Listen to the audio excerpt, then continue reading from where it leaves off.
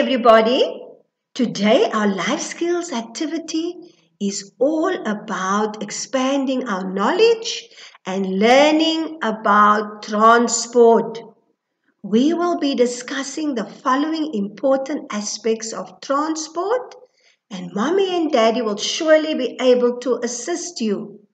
We are going to discuss the different types of transport, why we need transport, and why some transport is so important every day. So let's go and find out more about transport. Activity 1. Look carefully at the pictures. Identify the different types of transport that you can see on each of these pictures. And I also want you to mention some examples on each picture. So let's go. Yes, picture number one is land transport. And you will see it also includes rail, the train, yes. Picture number two is Air transport. Just look at all of those different kinds of air transport. And picture number three is all about water transport. Now, land transport is everything that travels on the land. Let's see.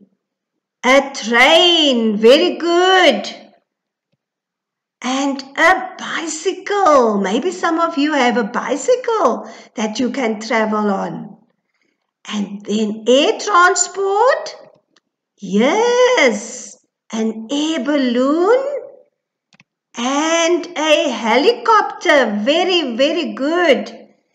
An example of water transport is a big ship that you can travel on. Well done, boys and girls. Activity 2. Can you tell mommy and daddy why you think the following vehicles are so important for everyday use? Look at them. A truck, an ambulance, and a bus. Why are these so important to use every day? Yes, we say transport is a means of taking people and things from one place to another. And we need transport to deliver products. Yes, and we use a truck to take things to the shops that we can go and buy from the shop. Very good.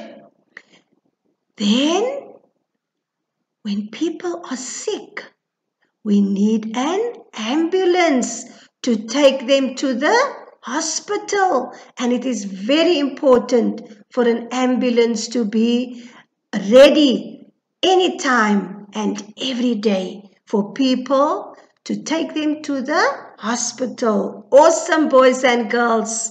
And then we also travel in a bus. We travel to work or school, or we can just travel to other places. So, a truck, an ambulance, and a bus, they are very important and we need them every day. Activity 3 Go outside and see if you can find any of these vehicles at your own house. Even if you stand by the gate, you might see some of them in your complex or on this in the road where you stay. So look carefully, boys and girls. Yes,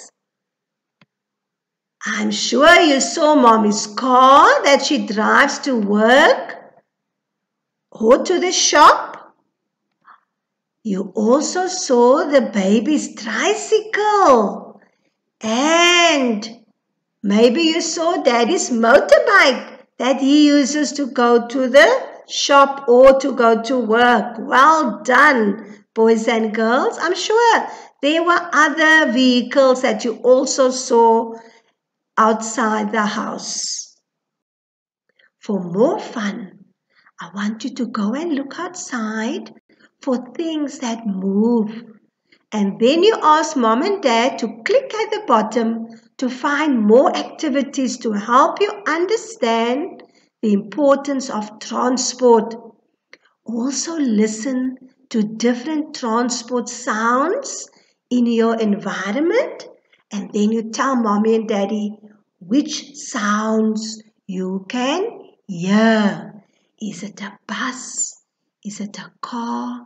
Is it an aeroplane, a train, or even a helicopter when you stand outside? And then you can also click and go and find more fun activities on these sites. Enjoy, boys and girls. Till next time.